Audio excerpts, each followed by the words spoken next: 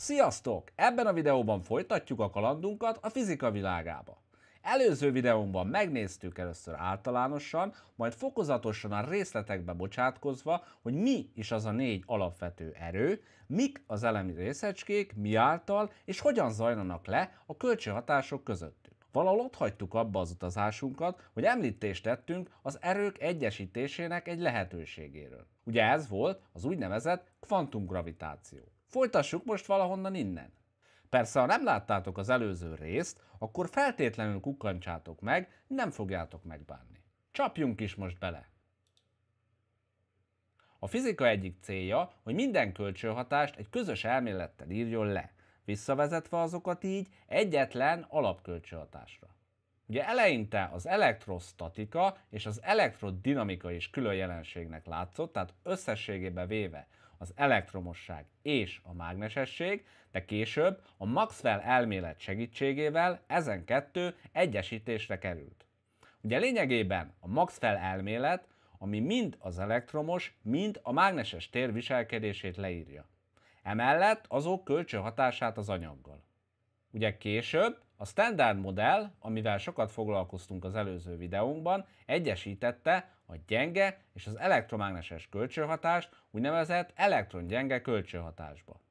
A standard modell azonban nem egyesítette az erős kölcsönhatást az elektrongyenge kölcsönhatással, viszont erre adna lehetőséget az úgynevezett nagy egyesített elmélet. Ugye erre még a fizika jelenállása szerint nem került sor. A nagy egyesített elmélet, GATT, vagy kibontva ezt a szót, Grand Unification Theory, amely tehát a gravitáció kivételével a másik három alaperőt, alapkölcsönhatást egyesíteni. Vagyis tehát az erős kölcsönhatást az elektrongyenge kölcsönhatással. Egy még további lépés lenne az úgynevezett minden dolog elmélete, Theory of Everything, amely modell megalkotásának ugye a fő nehézsége, hogy a gravitációnak nincs meg a kvantummechanikával összhangban lévő, általánosan elfogadott elmélete. Ugye ez lenne a kvantumgravitáció. Még egyszer tehát a kvantumgravitáció célja, hogy a természetben felelhető alapvető kölcsönhatások közül a hármat leíró kvantummechanika, ugye ez az anyag nagyon kis szerkezetére vonatkozik, ezt egyesítse a negyedik kölcsönhatással. Ugye a negyedikkel tehát a gravitációval, amit az általános relativitás elmélet ír le. Ugye ez alapvetően ezen utóbbi a hatalmas dolgokat, például a világűrt írja le. Még egyszer és utoljára tehát a végcél pedig az úgynevezett minden dolog elmélete, vagy más néven mindenség elmélete. Beszéljünk most picit a szimmetriáról. Hogy megpróbáljuk megérteni a szimmetriát, vegyünk alapul egy szférát. Ugye a gömböt bármely irányba forgatjuk, az gyakorlatilag ugyanaz marad. Ugye ilyen például az emberi egyetfejlődés során maga az embrió. Ezt úgynevezett O3-as szimmetriával jellemezhetjük. Amely, még egyszer tehát, bármely irányba forgatjuk el ezt a gömbalakot, az ugyanúgy néz ki. Ugye, hogyha az embrió továbbfejlődik, nagyjából tekebábú alapú lesz. A tekebábú alapra már O2-es szimmetriát mondunk, hiszen az a tengelye körül még elforgatható. A szimmetriának nagyon szép példája természetben a hópehely. Ugye, ha a hópelyhet 60 fokkal elforgatjuk, akkor gyakorlatilag ugyanazt kapjuk. Ezt úgynevezett C6 szimmetriával jellemezhetjük. Ugye a hatos szám úgy jön ki, hogy 6 x 60, akkor kapunk 360 fokot. Ugye matematikailag azt mondhatjuk, hogy minden egyenletnek, amely a hópehely alakját írja le, ezeknek nem szabad függenie a 60 fok, valamint annak többszöröseivel való elforgatástól. Tehát erre invariánsnak kell lennie. Általában véve az eddig felsoroltakat téridő szimmetriának hívjuk. Ugye univerzumunk esetén egy feltételezés szerint az tökéletes szimmetria állapotából indult ki ahol gyakorlatilag, és ez így kapcsolódik a korábbiakhoz, az összes erő egyesített. Majd az univerzumnak a lehűlése során a szimetria sérül. Az erős kölcsönhatás esetén az úgynevezett SU 3-as szimetriáról beszélhetünk. Ugye ez azt jelenti, hogy a háromszínű kvarkok, tehát piros, zöld, kék, csereberélése mellett egy egyenlet megőrzi az alakját. És ha tehát ez így van, akkor azt mondjuk, hogy az egyenlet egy SU3-nak nevezett szimetriával rendelkezik. Ugye a három arra utal, hogy háromfajta színnel van dolgunk, az SU pedig a szimetria bizonyos matematikai tulajdonságaira utal. Egész konkrétan speciális unitér mátrixokat jelent. A gyenge kölcsönhatás esetén úgynevezett SU2-ről beszélünk, ugye itt mondjuk azt, hogy legyen két leptonunk, egy elektron és egy neutrino, ha egy egyenletben kicseréljük őket, akkor SU2 szimetriához jutunk. A fény szimetria csoportja U1, ezen szimetria csoport a fény különböző polarizációs komponenseit tudja egymással felcserélni. Az elektron gyenge így SU2 szer U1. Ha a kvarkok esetét hozzáadjuk, ugye erős kölcsönhatás, akkor kapjuk az SU3 szer SU2 szer U1. Ez keverheti a leptonokat egymás között, a különböző színű kvarkokat, de a leptonok a kvarkokkal még nem keverhetők. SU5-ről beszélünk a GATT, vagyis a Grand Unification Theory esetén, a háromszínű kvark és a kétféle lepton egymással kicserélhető. Ugye mit jelent ez gyakorlatban? Tehát tulajdonképpen azt, hogy bizonyos körülmények között egy kvarkból álló proton elektronná vagy neutrinóvá is bomolhat. Más szóval, tehát a GATT azt jósolja, feltételezi, hogy a proton, amelyet eddig tökéletesen stabil részecskének képzeltünk el, gyakorlatilag mégsem teljesen az. Végső soron ez azt jelenti, hogy valamennyi atomja univerzumunknak sugárzássá fog alakulni. Így a kémiai elemek, amelyek stabilak, tulajdonképpen valamilyen szinten, valamilyen formában mégis instabilak. Persze ahhoz, hogy a proton radioaktív bomlással feltételezhetően leptonná alakuljon, nagyságrendileg 10 a 31. évre kell számítani. Ez a nagyságrend az univerzum életkorát is meghaladja. Fontos megemlíteni, hogy az SU5 a szimetria törés esetén az SU3 szer SU2 szer U1 verzión kívül más módon is sérülhet. Ami ugye azt jelenti, hogy feltételezhetően más univerzumokban a különböző erőfajták erőssége eltérhet egymástól. Ugye például, hogyha az erős kölcsönhatás túl erős, akkor gyakorlatilag a csillagok üzemanyagának túl gyorsan megtörténik a fogyasztása, ami gyakorlatilag megakadályozza, hogy az általunk ismert élet kialakulhasson. Tehát túl rövid idő lenne rá. Az úgynevezett szuperszimetria elv esetén az erőkre vonatkozó egyenletek, valamint az anyagra vonatkozó egyenletek azonosak. Itt úgynevezett szuperszimmetrikus partnerek, sparticles vagy S részecskék találhatók. Ezek úgynevezett kuzir részecskék, vagy másként szuperpartnerek. A szuperszimetria elmélet esetén azt mondják, hogy minden fermionnak rendelkeznie kell partnerbozonnal, ez a fermion szuperpartnere, és minden bozonnak rendelkeznie kell partner fermionnal. Ugye a standard modell által leírt részecskéknek még nem találtunk szuperpartnereit. Most nézzünk meg egy érdekes gondolatkísérletet. Ebben a gondolatkísérletben egy jégkockát kezdünk melegíteni.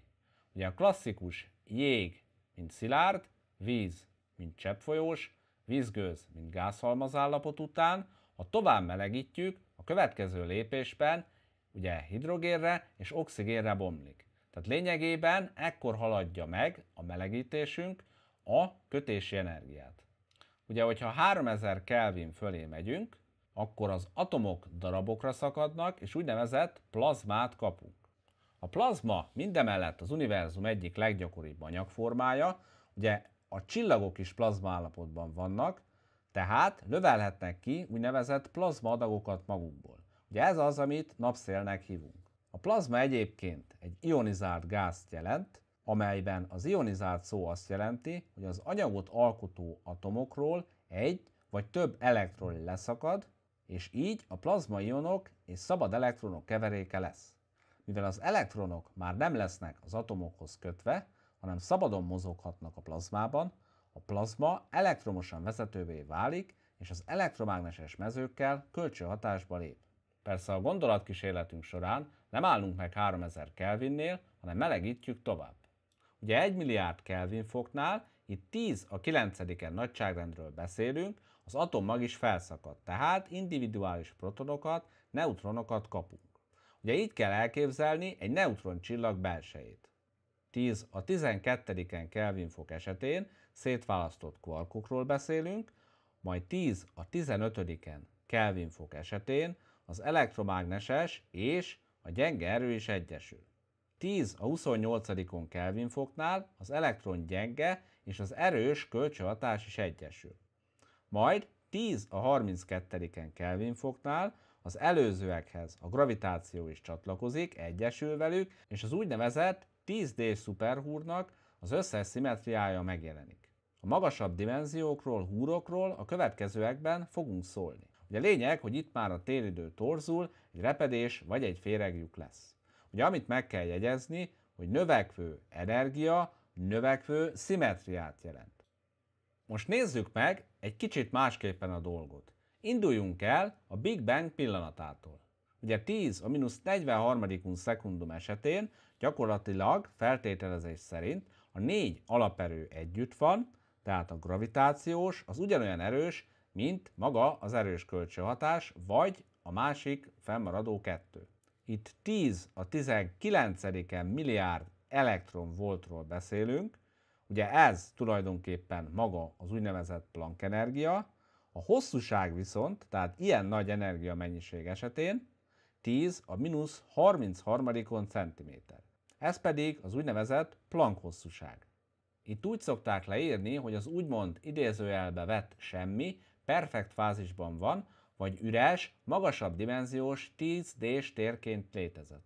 Ugye ekkor szuperszimetria van, majd ismeretlen okból egy kicsi, tehát Planck hosszúságú buborék formálódott, feltételezhetően random, tehát véletlenszerű kvantumfluktuáció miatt. Ugye ezt az egész 10 a mínusz 43 másodperchez tartozó időszakot Planckérának nevezik. Ehhez az időhöz köthető nagyjából a GATT, vagyis a Grand Unification Theoryhoz kötött éra, amikor maga a szimmetria törés következik be. Ugye a tér tágult, tehát tulajdonképpen ez az inflációs időszak, vagy más szóval felfúvódás, és az erőkből elsőként az úgymond eddig is már említett kakuktojás a gravitáció vált ki. Ugye a hőmérséklet tekintetében 10 a 32. Kelvin fok, és maga a tágulás pedig 10 az 50. nagyságrendű. Ha picit tovább megyünk, 10 a mínusz 34. másodperchez, akkor 10 a 27. Kelvin fokról beszélünk. Ugye ezt mondjuk, hogy az inflációs éra, inflációs idő vége.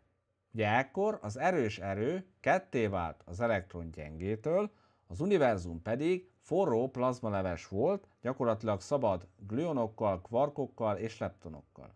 Ugye megkezdődik a kondenzálódás protonná, elektronná, a mérete pedig az univerzumnak csupán naprendszer nagyságú volt ekkor. Ugye megjelent az anyag túlsúlya, amit az anyag és antianyag közötti annihiláció váltott ki. Körülbelül 3 percnél az atommag formálódása történt meg. Gyakorlatilag itt 75%-ban hidrogénről, 25%-ban héliumról beszélünk. Maga a fúzió megkezdődik. Ugye ekkor az atommagot már nem tépi darabokra a hőmérséklet. Lítiumnyomok már megjelennek, a szabad elektronok pedig szórják a fényt, az univerzum úgymond opálos jellegű. Körülbelül 300-380 ezer év múlva az atomok születése történik meg. A 3000 Kelvin körüllel lehűlt univerzum már biztosítja tehát, hogy az atom összesűrűsödjön. Ami azt jelenti, hogy a mag körül már tud az elektron keringeni. Létrejönnek tehát stabil atomok. Hiszen ugye az intenzív sugárzás már nem töri meg. Ugye ahogy mondtuk, korábban átlátszatlan, áthatolhatatlan, opálos jellegű volt az univerzum, tehát egy ilyen kötszerűség, tehát ugye a turbulens sugárzással, majd ezt követően áttetsző, transzparens, fekete lett, amelybe már úgymond a fény szabadon utazhat, anélkül, hogy az szétszóródna. Ugye körülbelül 1 milliárd évnél kellemes 18 fok van, kazuárok, galaxisok, galaxis halmazok kezdenek el kondenzálódni, a csillagok pedig a könnyű elemeket kezdik el termelni. A robbanó csillagok pedig a vasig szórják az elemeket. Ugye az ezt követő fontosabb pont a körülbelül 13,7 milliárd év, és attól napjainkig, ugye itt ugye 2,7 Kelvin a hőmérséklet, galaxisok, bolygók, csillagok keletkeznek. Talán még nagyobb és még érdekesebb kérdés, hogy mi volt a Big Bang előtt. Nézzük is meg, mit mondanak erről az elméleti fizikusok. Ugye az egyik legegyszerűbb modell az úgynevezett kvantumfluktuáció. Ezt más néven vákumfluktuációnak is nevezzük, ahol az energia mennyiségének a tér egy pontján történő ideiglenes, átmeneti, véletlenszerű változása történik. Tehát ezen egyszerű modell szerint gyakorlatilag a Big Bang-et egy ilyen kvantumfluktuáció okozta. Ennek persze nagyon-nagyon-nagyon kicsi a valószínűsége, de a kvantumfizika az úgynevezett totalitarian principle-lel számol, ami tulajdonképpen azt jelenti, hogy a legkisebb valószínűséggel rendelkező, ki nem zárt esemény is megtörténik, hiszen a mi nézőpontunkból az érzékelt idő hiánya miatt gyakorlatilag azonnal létrejön. Ez persze az emberi agy számára egy nehezen emészthető valami. A kvantumfluktuációhoz kapcsolódó jelenségről még majd fogunk a későbbiekben is szólni. Előbb viszont ejtsünk pár szót a Hartle-Hawking elméletről. Ezen elmélet szerint az univerzumnak gyakorlatilag nincs eredete a klasszikus értelembe véve, hanem az univerzum mind térben, mind időben egy úgynevezett szingularitás volt a nagy boom előtt. Bár Hawking kijelentése szerint örökké nem létezett az univerzum, hanem inkább az univerzumnak és az időnek magának is a nagy bumma kezdete. Tehát gyakorlatilag magának az univerzumnak nincsenek kezdeti határai sem időben, sem térben. Ezt ezen elmélet úgy értelmezi, mint amikor azt kérdeznénk, hogy na és mi volt a nagy bum előtt, az analógia annak, mintha azt kérdeznénk, hogy mi van a déli sarktól délre. Így gyakorlatilag egy tollaslabdához hasonlítja a kozmoszt, ahol gyakorlatilag az univerzumnak is van egy kezdeti, úgymond alsó, nulla átmérőjű része, majd időben felfele, tehát gyakorlatilag előre, az elkezd tágulni. Tehát lényegében egy ilyen tollas labda alakhoz hasonlít. Hawkingek mindazonáltal egy hullámfunkciót írtak fel az univerzumra, ami gyakorlatilag ezen elmélet szerint a teljes múltat, jelent és jövőt is felöleli. A következő elmélet az úgynevezett végtelen infláció, vagy végtelen felfúvódás. Ugye itt gyakorlatilag az elmélet azt mondja, hogy az univerzum tágulása örök, és gyakorlatilag buborékok módjára keletkeznek egyéb univerzumok. Tehát azt mondja, hogy amely univerzumban az infláció vagy a felfúvódás befejeződött, onnan gyakorlatilag egy elágazás történik, és egy másik univerzum jön létre, ugye annak a saját Big Bangjével. Ugye ennek vizualizálására a láva lámpát szokták példának hozni. Ugye gyakorlatilag ebben a pacák az univerzumok, amik leszakadhatnak, egyesülhetnek. Tehát ennek értelmében lényegében mi is, a mi univerzumunk is egy korábban létező univerzumból bimbózott úgymond ki. A miénkből persze egy másik, és így tovább. A Big Bang előtti népszerű elméletek közül az utolsó az úgynevezett Brán kozmológia.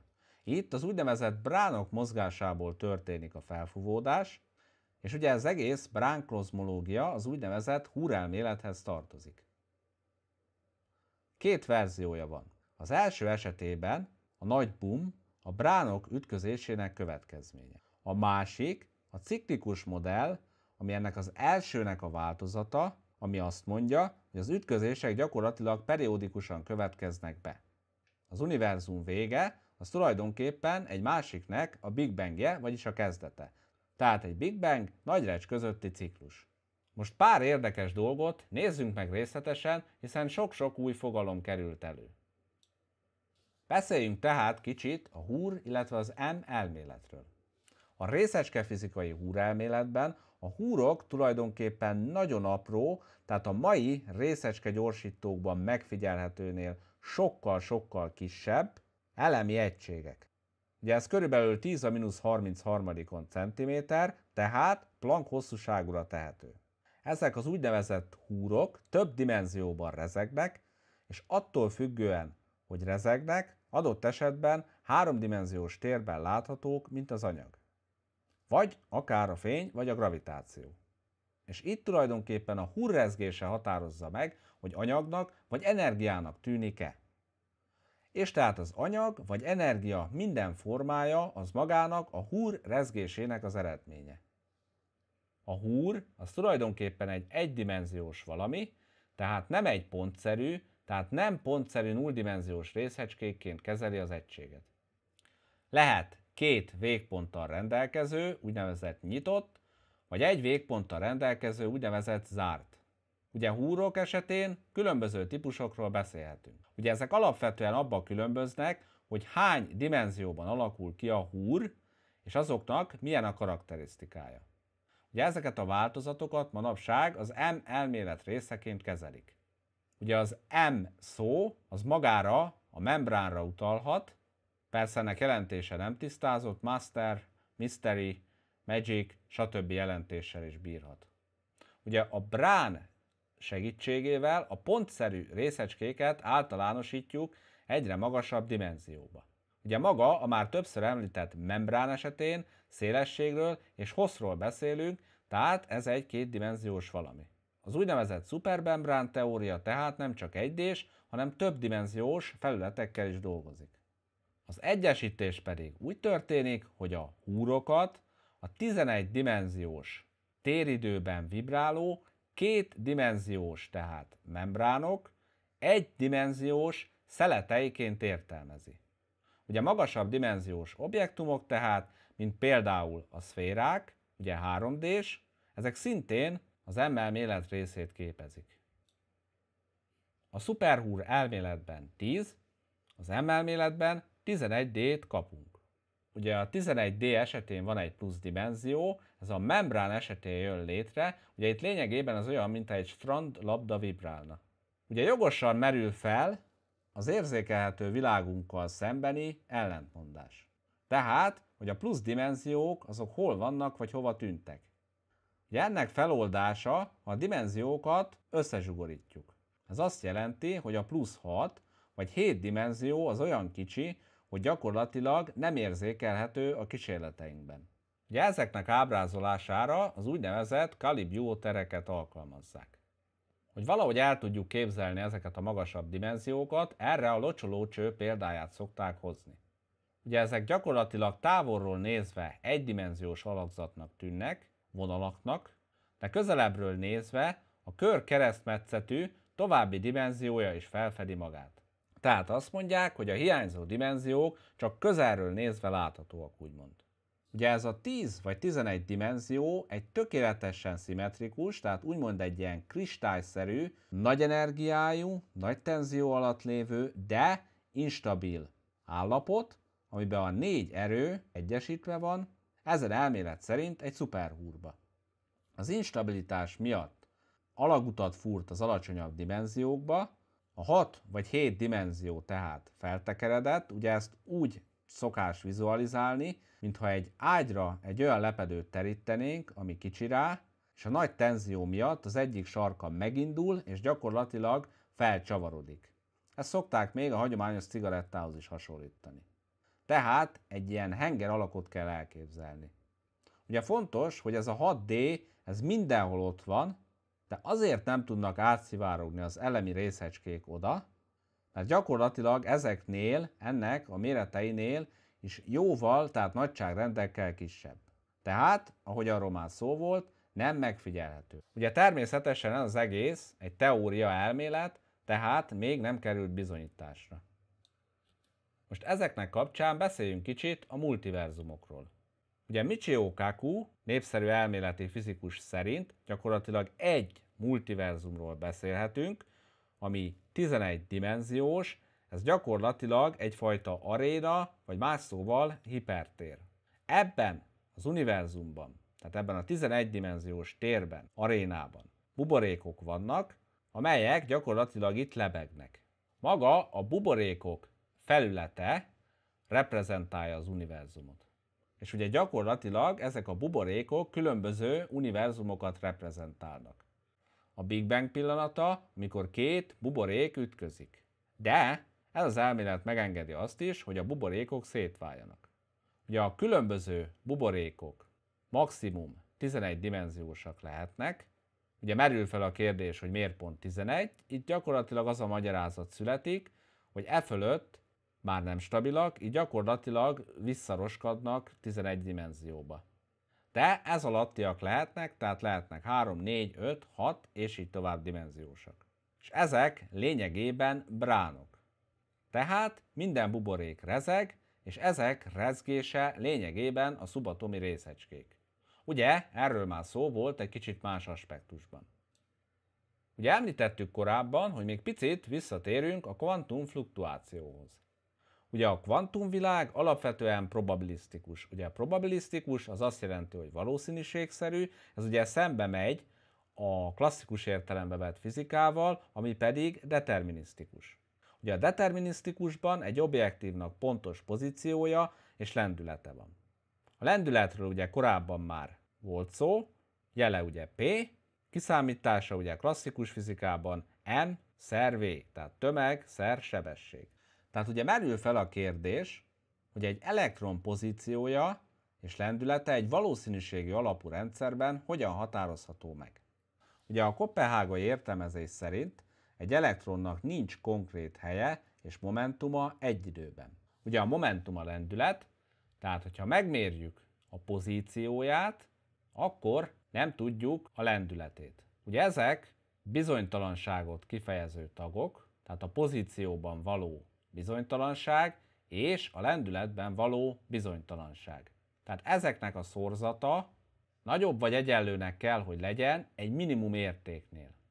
Ugye ez a minimum érték pedig a H, vagyis a Planck állandó per 4pi. Maga az egyenlet, tehát az egyes egyenlet a Heisenberg féle határozatlansági reláció. Tehát még egyszer ez a kettő komplementer változó, minél biztosabban tudjuk az egyiket, annál bizonytalanabbul a másikat. Vagyis minél bizonyosabb a lendület, annál bizonytalanabb a pozíció. Ugye a Planck állandó az tulajdonképpen azt mutatja, hogy milyen mértékben emelkedik egy foton energiája, ha az elektromágneses terének frekvenciája 1 hz nő. Tehát szemléletesen az 1 Hz-es foton energiája. Egy másik megfogalmazásként a Planck állandó minimum perdület az elektron számára, hogy az egy stabil pályán maradjon. Ugye akkor bocsát ki fotont az elektron, amikor egy magasabb pályáról egy alacsonyabbra ugrik. Ugye egy másik felírásban a Heisenberg féle határozatlansági relációt, azt felírhatjuk a delta E, delta T szorzatos változatban is. Itt a delta E a részecske energiájának bizonytalansága egy bizonyos állapotban, a delta T pedig az élettartam bizonytalansága, amíg a részecske abban az állapotban van. Ugye az előzőek analógiára, ha ismerjük a részecske energiáját, tehát ennek értéke kicsi, tehát bizonyos, mert ez egy bizonytalanság, akkor nem tudjuk, hogy ez a részecske mennyi ideig van ebben az állapotban. Tehát erre a delta t-re egy nagy értéket kapunk. Ugye nagy értéket, mert bizonytalanságot fejez ki. Na most ismeretes, hogy az úgynevezett kvantumvákum, amit ez a szépen mozgó, vibráló animáció mutat, az egy valószínűségi értelembe vett tenger, amely elemi részecskékből és antirészecskékből áll. Ugye ezek folyamatosan, ahogy látszik az animáción, megjelennek, majd eltűnnek. Ugye vegyük a klasszikus elektromágneses erő esetén levő példát. Ugye elektron, antirészecskéje, pozitron. Ezek megjelennek a kvantumvákumból, majd ugye rövid idő alatt kioltják egymást. Így gyakorlatilag energiát vesznek kölcsön a vákumból. Ha az az idő, amíg léteznek, mielőtt kioltják egymást, olyan rövid, hogy nem engedelmeskedik a második egyenletnek, akkor ez a relációjel megfordul, de amiért megfordul, nem megfigyelhetővé válik. Nem megfigyelhető, ezért úgynevezett virtuális pároknak nevezzük őket. Ha elég ideig léteznek, és a normál reláció következik be, akkor megfigyelhetők és valódi pároknak nevezik őket. Ugye a virtuális párok egyfajta módon megszegik az energia megmaradás törvényét, de ez csak addig érvényes, még nem kerülnek megfigyelés alá. Egy példa. Két elektron interakcióba kerül egymással, ez a jelenlét fontos változást idéz elő a kvantumvákumban. Az ellenkező elektromos töltések vonzák egymást, és ha egy elektront a virtuális párok vákumába helyezünk, akkor a pozitív töltésű virtuális pozitronok az elektron felé haladnak. Így gyakorlatilag a valódi elektron szegregálta a virtuális párokat, és ezt pozitív töltések kezdik tehát körülvenni. Egyfajta pajsként, amit vákumpolarizációnak nevezünk. Tehát ezt a folyamatot nevezzük vákumpolarizációnak.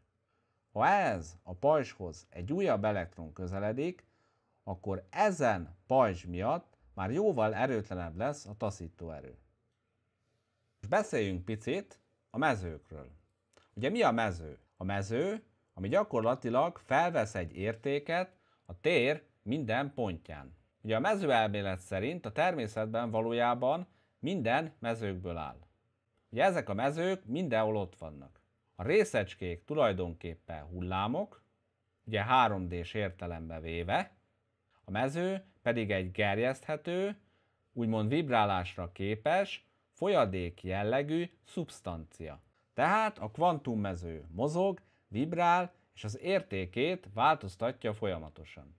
Ugye ez lényegében az előbb bemutatott Heisenberg-féle határozatlansági reláció révén van így. Vagyis apró, véletlenszerű ingadozások vannak az elemi részecskéket képviselő mezők értékei között. Ugye ezen értelmezés szerint például egy foton az elektromágneses tér vibrálása. Ugye ellentmondásba ütközhetünk, hiszen a foton kvantummechanikai értelembe véve egy diszkrét, elkülönült energiacsomag. Ellenben a mezővel, ami tehát folyamatos.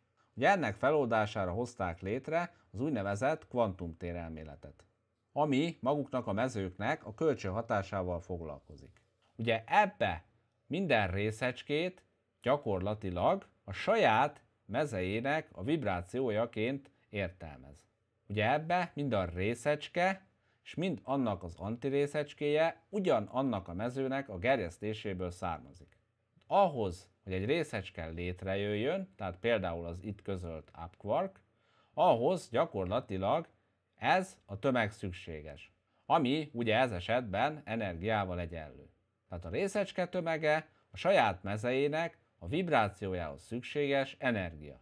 A mezők után most beszéljünk kicsit a quantum tunnelingről, vagy az úgynevezett alagúthatásról. Ugye ebben az esetben, ha megnézzük ezt az ábrát, van egy E energiájú részecske, egy V-vel jelölt akadály, ami a magasságára utal ez esetben. Ugye ez abban az esetben, ha a részecske energiája kisebb, mint ennek az akadálynak a magassága, akkor klasszikus fizikai értelembe véve ez a gát gyakorlatilag áthaladhatatlan a részecske számára. Na most a probabilisztikus kvantummechanikában egy hullámfüggvény gyakorlatilag tova terjed a gáton. Tehát ugyan csökkent a valószínűsége, mint látjuk, de az energia nem csökkent. Ugye a kvantumfizikában a hullámfüggvény révén a mérések lehetséges valószínűségei, tehát kimenetelei nyerhetők ki. Gyakorlatilag információ hullámként értelmezhető. Tehát nem úgy, mint egy víz vagy egy hanghullám. Ugye egy gyakorlati példa, hogyha egy hisztéria hullám söpör végig a népességen, akkor ott valószínűbb, ugye probabilisztikus dologról van szó, hogy ott hisztérikus viselkedést tapasztalunk. Ugye a hullámfüggvény tehát az egymást követő mérések kimeneteleinek mintázatát mutatja meg. A hullámfüggvényből tudjuk, hogy van valószínűsége, hogy a részecske megjelenik a gáton túl. Persze, a gáton belül egy exponenciális csökkenést tapasztalhatunk. Ugye az itt levő animáción látjuk, hogy van egy keskeny, de magas gát, ugye a valószínűségi értelembe vett hullám, és ugye látjuk, hogy ez szerint a gát túlsó felén is van valószínűsége, hogy megjelenjen a részecske. Ugye, amiket most elmondtunk, az hogyan kapcsolódik a korábbiakhoz. Ugye lényegében van olyan feltételezés, ami szerint valószínűsége van, igaz nagyon kicsi, nem okokozati, hogy gyakorlatilag a teljes semmi, egy teljesen zéró méretű univerzum az alagút hatás révén ezt az energiagátat meghaladva egy nagyon kicsi, véges méretű univerzumként jelenik meg. Ugye ez pedig a Big Bang követés utána a korábban elhangzottak. Ugye lényegében tehát ez a kvantum alagút hatás kapcsolódik a kvantum fluktuációhoz. Persze akárhogy is nézzük, a kvantummechanikának a szabályai azok kellettek ahhoz, hogy egy ilyen jelenség megtörténjen. Ugye, hogy ez honnan jött, honnan jöhetett, arra még a mai fizika nem tud választ. Ugye eddig beszéltünk arról, hogy vajon mi lehetett a Big Bang előtt, hogy nézhetett ki a Big Bang pillanata, és onnan hogy jutottunk el a jelenkorig. Most nézzük meg, hogy úgymond hogyan tovább, mi várhat ránk. Ugye ehhez meg kell ismerkednünk az átlagos anyagsűrűséggel, ami egy hányados, ez úgy néz ki, hogy az univerzum jelenlegi sűrűsége osztva az univerzumnak a kritikus sűrűségével. Ugye már önmagában is érdekes, hogy a Big Bang pillanatában pontosan egynek kellett lennie ennek a hányadosnak. Ugye egynek, ez egész konkrétan azt jelenti, hogy 10 a 11-en tizedes egy pontossággal. Ugye ez matematikailag azt jelenti, hogy értékelnek, tehát egy egész, utána 11 nulla, majd ez a 11 nulla után lehetett, ugye matematikai értelembe véve, más szám.